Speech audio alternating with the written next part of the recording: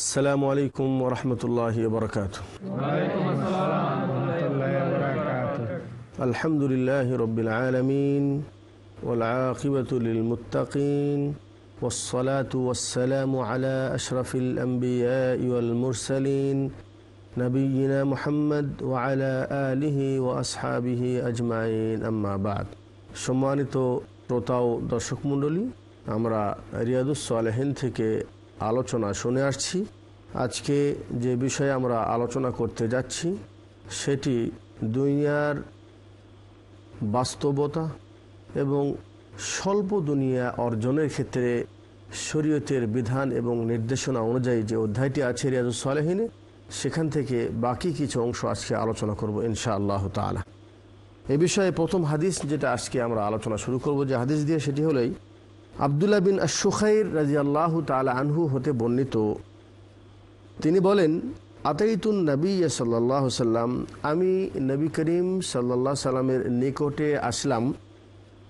ওহু আয়া করা আর তিনি এই সুরা পড়তেছিলেন আল্লাহ কুমুত্তাকাসুর এবং তিনি বললেন, মানুষ বলে, আমার মাল আমার মাল, আমার অর্থ, আমার এটা, আমার সেটা এই যে বলে।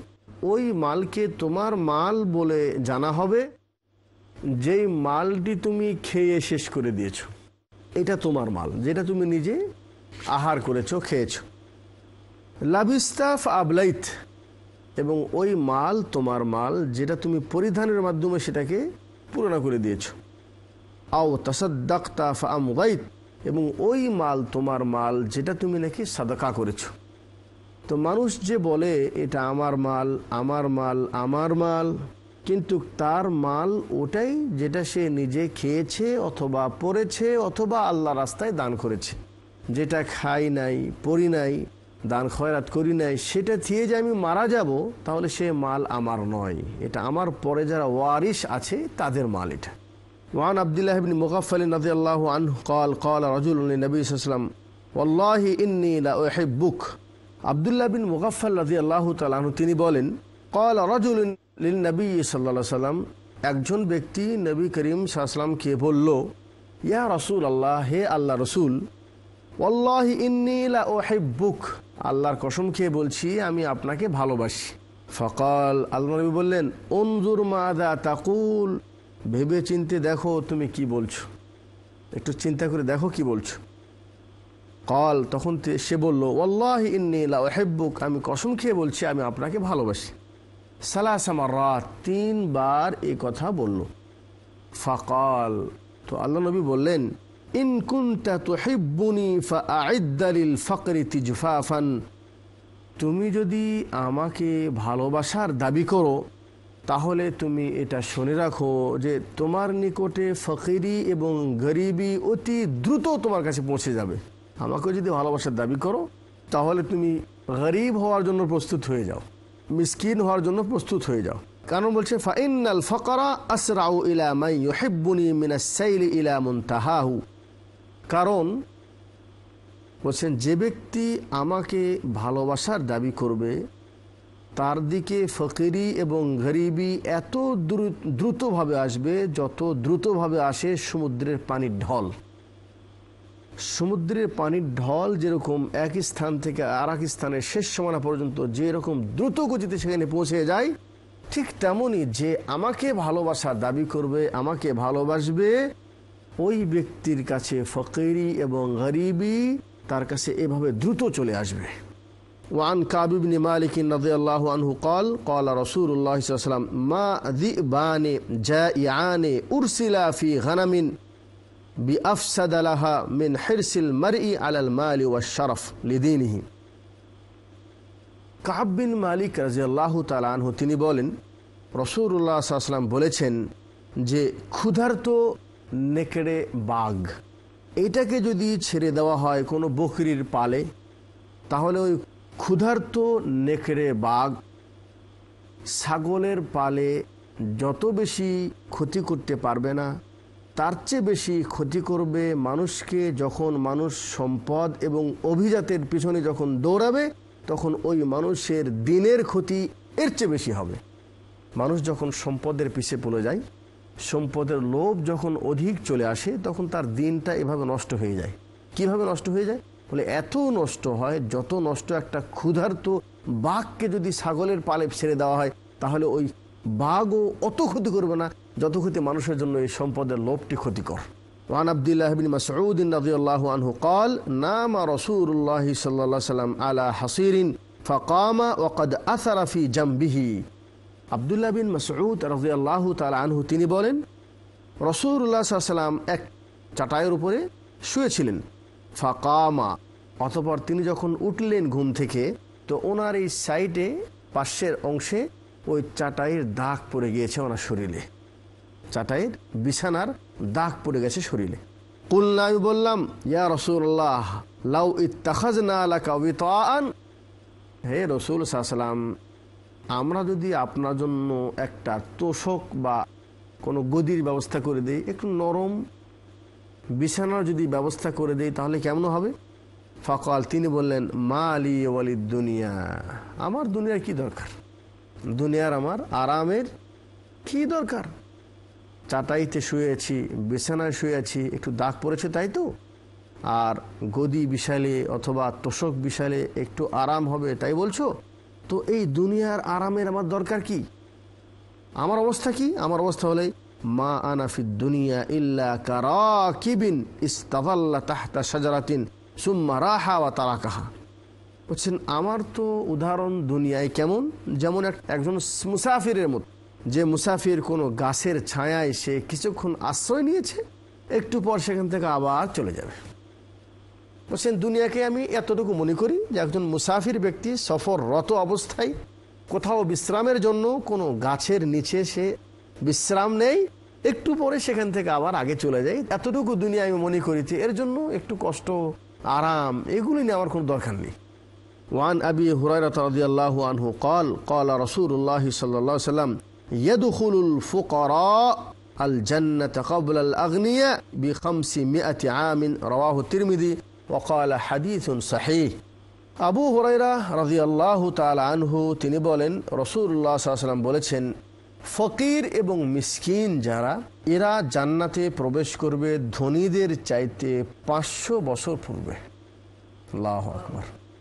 ইয়াদখুলুল ফকরা আল জান্নাতা ফকির এবং গরিব এরা জান্নাতে যাবে কবল আল আগ্নিয়া ধনী এবং প্রভাবশালী মানুষদের চাইতে বেখামসি মিয়াতে আমিন পাঁচশত বছর পূর্বে وعن ابن عباس وعمران بن الحسين رضي الله عنهم عن النبي صلى الله عليه وسلم قال اطلعت في الجنة فرأيت أكثر أهلها الفقراء ابن عباس رضي الله تعالى عنهم নবী করিম সাহসালাম থেকে বর্ণনা করেন, তিনি বলেন এ তলা তুফিল জান্নাহ। আমি জান্নাতে তাকিয়ে দেখলাম ফারাইতু আকসার আহলিহা আল ফোকারা তো জান্নাতের অধিকাংশ অধিবাসীদেরকে দেখলাম, তারা গরিব এবং ফকির। ওয়াত্তলা তুফিন্নার এবং আমি জাহান্নামেও দৃষ্টিপাত করলাম, তাকিয়ে দেখলাম ফারাইতু আকসার আহলিহা আন্নিসা। তো অধিকাংশ জাহান্নামীদেরকে দেখলাম যে মহিলা। মুত্তাফাকুন আলী বখারি মুসলিম হাদিস عن أسامة بن زيد رضي الله عنهما عن النبي صلى الله عليه وسلم قال قمت على باب الجنة فكان عامة من دخلها المساكين وأصحاب الجد محبوسون غير أن أصحاب النار قد أمر بهم إلى النار متفق عليه উসামা বিন জাইদ রাজিয়াল্লাহ তালা আনহু তিনি বলেন রসুল্লাহ সাল্লাম বলেছেন কুমতু আলা বাবিল জান্নাহ আমি জান্নাতের দরজায় দাঁড়িয়ে দেখলাম, ফাকান আম্মাতুমান দাখালাহা আল মাসাকিন। অধিকাংশ জান্নাতে প্রবেশকারীদেরকে দেখলাম, তারা গরিব এবং মিসকিন। আর ধনী মানুষদেরকে আটকিয়ে রাখা হয়েছে, গায়রা আন্না সাবিনার কাদ উমির আবিহিম ইলান্নার তবে যারা জাহান্নামী, তাদেরকে জাহান্নামে নিক্ষেপ করার জন্য নির্দেশ দেওয়া হয়েছে। বোখারি, মুসলিম হাদিস। আরেকটি হাদিস, ওয়ান আবি হুরাহ আনহু আনিন নবী সাল্লাম কল, আসদাকু কালিমতিন। কলাহা শাহরু কালিমাতিল আবিদিন, আলা কুল্লু সেই মা খালাল্লাহ বা তিলুন আবু হরাইরা রাজি আল্লাহ তালাহ তিনি বলেন রসুল্লাহ আসলাম বলেছেন যে, সবচাইতে সুন্দর বাণী, সবচাইতে সুন্দর কথা, যে কথাটি একটি কবির কথা হতে পারে, সেই কথাটি হলো, লাবিদ কবির কথা, লাবিদ কবির কথা। সে বলেছিল, আলা কুল্লু ইন মা খালাল্লাহ বাতিলুন যে আল্লাহ ব্যতীত বাকি যত জিনিস আছে সবগুলি ধ্বংস হয়ে যাবে। আল্লাহ ব্যতীত বাকি যত জিনিস আছে সব ধ্বংস হয়ে যাবে। বুখার মুসলিম হাদিস, সম্মানিত শ্রোতা ও দর্শক মণ্ডলী, এই হাদিসের সাথে এই অধ্যায়ের আলোচনা এখানে শেষ হয়ে যাচ্ছে। তো এক্ষুনি একটি ছোট্ট বিরতি। বিরতির পর বাকি আলোচনা নিয়ে আবার আপনাদের সামনে উপস্থিত হব ইনশা আল্লাহ তালা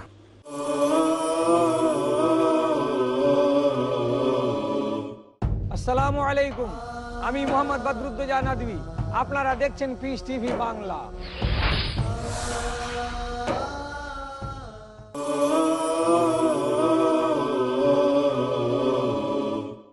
আলহামদুলিল্লাহ ওসালাতু ওসালামু আলা রসুলিল্লাহ। সম্মানিত শ্রোতা ও দর্শক মণ্ডলী, আমরা বিরতির পূর্বে দুনিয়ার বাস্তবতা এবং একজন মুসলমানের জন্য, আখেরাতমুখী মুসলমানের জন্য দুনিয়ার জীবন কীভাবে হওয়া উচিত, কেমন হওয়া দরকার, এ বিষয়ে আমরা আলোচনা শুনে আসলাম।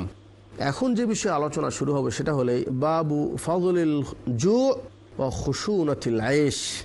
অনাহার থাকার ফজিলত।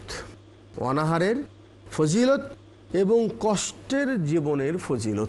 যে ব্যক্তি অনাহারে থেকে দুনিয়ায় জীবনযাপন করবেন, কষ্টের জীবন যাপন করবেন, তাদের জন্য শরীয়তের কোনো খুশির বাণী আছে কি না, আজকে এই অধ্যায়ে আমরা জানব ইনশাআল্লাহ তালা এ বিষয়ে সুরে মারিয়ামের উনষাট নম্বর আয়াত আল্লাহ তালা বলেন فخلف من بعدهم خلف أضاعوا الصلاة واتبعوا الشهوات فسوف يلقون غيا আল্লাহ তালা বলেন ফখলাফা মিম বাদিহিম খালফুন তাদের পরে এসেছে কিছু পরবর্তীগণ কাদের পরে ভালো মানুষদের পরে কিছু পরবর্তী গুণ নিকৃষ্ট পরবর্তী গুণ এমন লোক এসেছেন আবাউসালাত তারা সালাদকে বিনষ্ট করে দেয়। সলাদকে নষ্ট করে দেয়। নামাজকে নষ্ট করে দেয়। ওয়াত্তাবাউস শাহাওয়াত এবং তারা খাহেসাতের আনুগত্য করে। খাহেসাতের পিছে চলে তারা। ফাসাউফায়াল কৌনা গাইয়া, অচিরেই তাদেরকে নিক্ষেপ করা হবে গাইয়া নামক স্থানে। জাহান্নামের সবচাইতে নিম্ন স্থান সেখানেই তাদেরকে নিক্ষেপ করা হবে। কাদেরকে? ওই সমস্ত নামাজিদেরকে যে নামাজকে নষ্ট করে এবং যে নাকি নিজের নফসের খাহিসাতের পূজা করে। তাহলে নামাজ পড়ার পরেও মানুষ জাহান্নামে যাবে। আবার জাহান্নামের একেবারে নিম্ন স্থানে আল্লাহ তালা সুরে মাউনে কি বলেছেন? ফাওয়াইলুল্লিল মুসাল্লিন। ওয়াইল নামে জাহান্নাম। ওই সালাত আদায়কারীদের জন্য, ওই নামাজিদের জন্য আল্লাদিন আন সালাতিহিম সাহুন। যারা নামাজ পড়ে কিন্তু তারা নামাজে অমনোযোগী, নামাজে তার মনোযোগ নেই। তো নামাজ, সলাৎ আদায় করা ভিন্ন জিনিস আর সলাৎকে প্রতিষ্ঠিত করা, কায়েম করা ভিন্ন জিনিস। সময় মতো ধীরস্থিরের সাথে আল্লাহ নবী সাল্লাম যে পদ্ধতিতে আদায় করেছেন সেভাবে পড়ার নাম হলো সালাত কায়েম করা। তো যে ব্যক্তি সলাৎ নষ্ট করবে, তার মানে সে পরেও কিন্তু তার ভিতরে রসুল সালামের নমুনা নেই। সে যেরকম জানে সেরকম পড়ে তা আল্লাহ বলছেন যে, এরকম ধরনের কিছু নিকৃষ্ট পরবর্তী গুণ এমন আসবে, যারা সলাৎটাকে নষ্ট করে দিবে খাহিসাতের তারা পিছে চলবে, তাদেরকেই গাইয়া নামক জাহান নামে নিক্ষেপ করা হবে। ইল্লামান তাব ও আমানা ও আমিরা সারেহা তবে যারা তৌবা করবে, যারা কি করবে? তৌবা করবে। ও আমানা এবং ইমান নিয়ে আসবে ও আমিলা সালেহান এবং নেক আমল করবে ফাউলাইকায়াদখুনুল জান্না তারাই জান্নাতে প্রবেশ করবে ওলা ইউজলামুন শেয়া এবং তাদের উপরে বিন্দু পরিমাণ কোনো জুলুম এবং অন্যায় করা হবে না সুরে মারিয়াম উনষাট এবং ষাট নম্বর আয়াত وقال تعالى الله تعالى আরো বলেছেন فخرج على قومه في زينتي قال الذين يريدون الحياة الدنيا يا ليت لنا مثل ما أوتي قارون ইন্নাহুলাদু হাদ্দিন আদিম আল্লাহ তালা বলছেন ফাখা রাজা সে যখন বের হলো, আলা কৌমিহি তার সম্প্রদায়ের নিকট থেকে যখন বের হয়ে যাচ্ছিল ফিজিনাতিহি একেবারে ঠাট বাটে, সুন্দর হয়ে। কে সেটা? কারুন। কারুন যখন তার সম্প্রদায়ের মাঝে যখন সে সুন্দর লেবাস, পোশাক পরে ঠাট বাটের সাথে যখন সে বের হয়ে যাচ্ছিল কল আল্লাদিন হায়াত দুনিয়া, তো তার এই অবস্থা দেখে দুনিয়াদার মানুষ, সে বলল, ইয়া লাই তালানা উতিয়া করুন। আল্লাহ, আমাকে যদি কারণের মতো এ ধরনের সম্পদ দিতা, অর্থাৎ সে লালস করছে যে কারণের মতো যদি আমাকেও বানাতা, ইন্নাহু লাদু হাবদিন আদিম সে চেয়ে বড় সৌভাগ্যবান ব্যক্তি। কত সম্পদ, কত কিছু খায়, কত কিছু পরে কত আরামের জীবন যাপন করে সে। وقال الذين أوتوا العلم ويلكم ثواب الله خير لمن آمن وعمل صالحا আল্লাহ তালা বলছেন তবে যাদেরকে আমি এলিম দিয়েছি যাদেরকে আমি জ্ঞান দিয়েছি যাদেরকে আমি বিচক্ষণতা দিয়েছি তারা বলবে ওয়াইলাকুম হাই সর্বনাশ কি বলো কি কারণের মতো হতে চাও শুনে রাখো সওয়াবুল্লাহি খৈরুল লিমান আহমানা ও আমিলা সালেহা আল্লাহর যেটা প্রতিদান হবে, আল্লাহর পক্ষ থেকে যে নেকি হবে, এটা ওই ব্যক্তিদের জন্য এটাই সবচেয়ে উত্তম এবং মূল্যবান জিনিস। যে ব্যক্তি তার প্রতি ইমান নিয়ে আসে এবং সৎ আমল করে।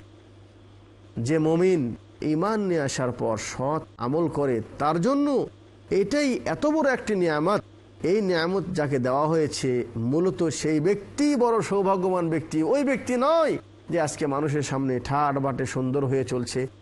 এটা সৌভাগ্যবান ব্যক্তি নয় وقال تعالى ثم لتسألن يومئذ عن النعيم سورة تكاثر 8 নম্বর আয়াত আল্লাহ বলছেন ثم لتسألن يومئذ অবশ্যই অবশ্যই সেদিন তোমাদেরকে নিয়ামত সম্পর্কে জিজ্ঞাসা করা হবে আল্লাহ তালা আমাদেরকে যতগুলো নিয়ামত দিয়েছেন এই নিয়ামত সম্পর্কে আল্লাহ তালা আমাদেরকে অবশ্যই অবশ্যই জিজ্ঞাসা করবেন وقال تعالى আল্লাহ তালা আলো বলেন من كان يريد العاجلة عجلنا له فيها ما نشاء لمن نريد ثم جعلنا له جهنم يصلاها مذموما مدحورا আল্লাহ তালা বলছেন মান কানা ইউরিদুল আজিলাতা আজ্জাল্লা লাহু ফিহা মানসা যারা দুনিয়ার জীবনে দ্রুত কিছু চায় দ্রুত দুনিয়া চায় আজ্জাল্লা লাহু ফিহা মানসা উলিমান নুরিদ, আমি যাকে চাই,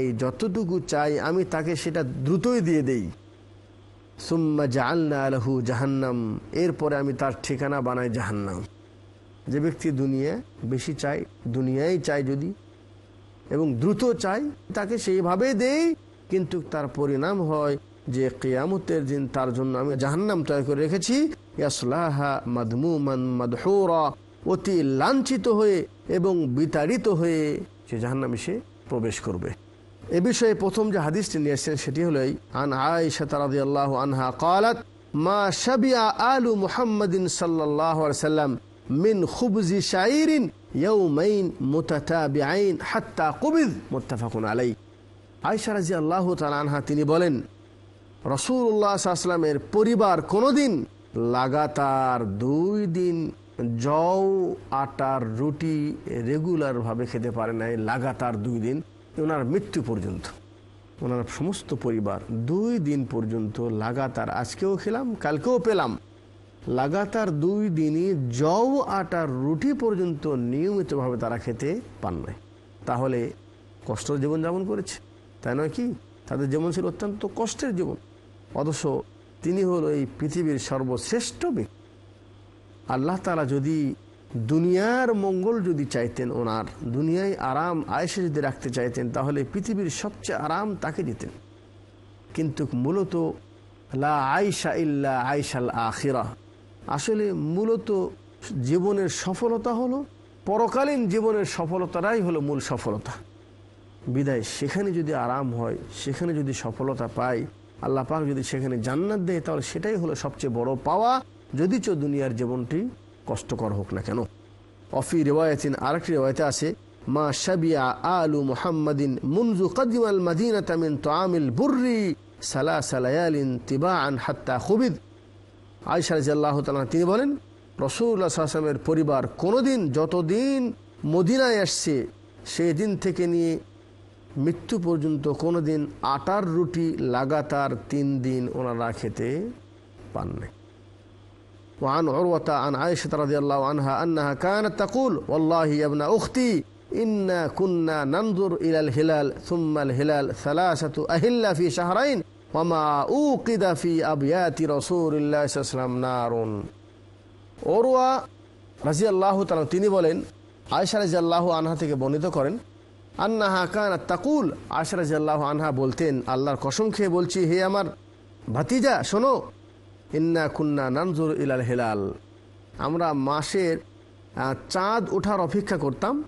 সুম্মাল হেলাল, এরপরে দ্বিতীয় চাঁদ ওঠার অপেক্ষা করতাম। তৃতীয় মাসের চাঁদ ওঠা অপেক্ষা করতাম। ওমা উ কিদাফি আবিয়াতি রসুল্লাহাম নারুন। এমন হতো যে তিন চাঁদ পর্যন্ত চলে যেত, কিন্তু আমরা আমাদের চুলায় আগুন জ্বালাতে পারতাম না। কুলতু, তখন অরুয়া বলছে, আমি জিজ্ঞেস করলাম, ইয়া খালা, হে খালাম্মা ফামা কানা ইয়াই সুকুম তাহলে আপনারা কীভাবে বাঁচতেন?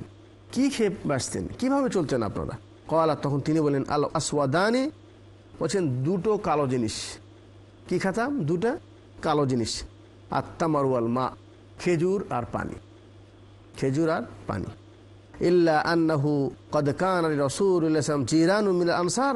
তবে কখনো কখনো এমনও হতো যে, ওনার যে আনসারি প্রতিবেশী আছে এনারা কখনো কখনো ওয়াকানাতলাহ মানায়েহ, তাদের দুধের পশু ছিল। ওয়াকান ইলা আলবানিহা তারা কখনো কখনো কিছু দুধ হাদিয়া হিসাবে আমাদের বাড়িতে পাঠাতেন আর আমরা মাঝে মাঝে সেটাও খেতে পাতাম বোখারি মুসলিমের হাদিস। তো এই হাদিস থেকে আমরা অনুমান করতে পারি যে রসুল্লাহ সাল্লাম এবং ওনার পরিবারবর্গ এবং সাহাবা একরাম ওনারা দুনিয়ার জীবনটা কত কষ্টের সাথে ওনারা জীবন যাপন করেছেন এর বিনিময় শুধু তারা একমাত্র আল্লাহর সন্তুষ্টি এবং পরকালীন জীবন তারা সুন্দর করার জন্যই মূলত এই কষ্ট তারা শিকার হয়েছে وعن أبي سعيد المقبري عن أبي هريرة رضي الله عنه أنه مر بقوم بين أيديهم شاة مصلية আবু সাঈদ আল মকবরি রাজি আল্লাহ তিনি বলেন আবু হর রাজি আল্লাহ বর্ণনা করেছেন, আন্নাহু মার রবি কৌমিন বাইনা আইদিহিম শাতুন মাসলিয়াতুন। আবু হররা বললেন, আমি কিছু সম্প্রদায়ের কাছ থেকে আমি অতিক্রম করলাম, তো দেখলাম যে তাদের সামনে ভুনা ছাগল রাখা আছে। ফা দাউহু তারা আবু হররাকে ডাকলো যে, আসেন খান। ফা আবা সে অস্বীকার করল আইয়া খুলা খেতে যেতে অস্বীকার করল। ওয়াকাল এবং বলল, খরাজা রসুল্লাহ সাল্লাম মিনার দুনিয়া, ওয়ালাম মেশবা আমিন খুবজি শাহির আল্লাহ রসুল সাল্লাম দুনিয়া থেকে চলে গেলেন। কোনোদিন জও, আটা, রুটি দিয়েও পেট ভরে খেতে পারলেন না। তো আমি এই ভুনা খাসি আমার খাওয়ার দরকার নেই। সম্মানিত শ্রোতা ও দর্শক মণ্ডলী, আজকের আলোচনা এই পর্যন্তই থাকবে। বাকি আলোচনা পরবর্তী দর্শে আসবে ইনশাআল্লাহ তাআলা। আল্লাহ রব্বুল আলমিন আমাদের সবাইকে নেক আমল করার তৌফিক দান করুন। ওয়াখির দাওয়ানা আলহামদুলিল্লাহ রবিল আলমিন। আসসালামু আলাইকুম ওরহমতুল্লাহি ওবরাকাতু